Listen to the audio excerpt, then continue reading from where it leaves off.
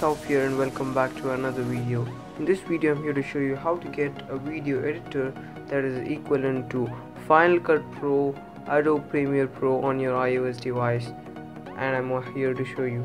First step you're gonna do is to go to Safari, the Safari browser and get to the link in the description and uh, hit on download now. Okay and then hit on install yes the app is done right here. But in order to for the app to work you need to go to settings general and then to profiles and device management and then go over to apps.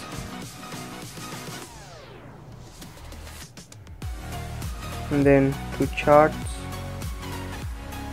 and here you have the app called Cute Cut Pro right here. And just hit install from here. Just install and then you need to go to download manager which is right here. Wait for it to download and then hit open. That's just it. So you have the app right here so this project went really well. I had four layers three photos and one video.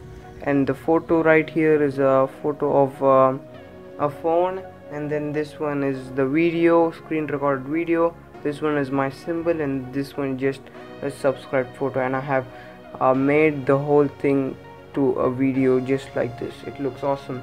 So this is how I do all these kinds of videos guys just this app called Cute Cut Pro equivalent to Final Cut Pro Premiere Pro. It's epic guys. Hope you enjoyed the video. Make sure you subscribe like share. Peace